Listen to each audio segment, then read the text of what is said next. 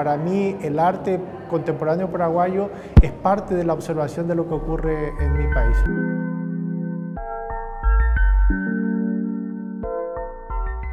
Mi nombre es Daniel Mendonca, yo soy de alguna manera el, propietario de la colección Mendonca y lo que resolvimos hacer eh, para este evento de Pinta Sud, fantástico evento de Pinta Sud, fue seleccionar un centenar de obras de la colección para exponerlas en, este sitio que es el Centro Cultural Citibank.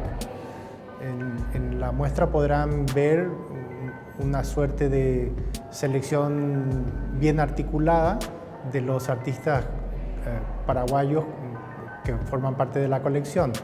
La colección se fija en tiempo y en espacio en Paraguay y entre 1970, 1980 y hasta nuestros días. A partir de allí hay ejes, ejes de, de relato que tienen que ver con problemas políticos, con problemas históricos, con problemas ambientales, con problemas de género, con problemas de discriminación.